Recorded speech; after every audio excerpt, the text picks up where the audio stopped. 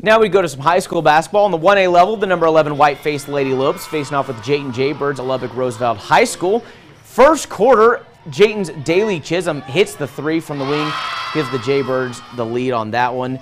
And now the other way, Whiteface Allison Martha shoots a three of her own from the corner. They're up four. A little defense now. Martha bats the inbounds pass up into the air. Emma Ayers grabs it, drives, passes it ahead, and it's Joey Alvarez finishes the layup. Lady Lopes, they're still up four.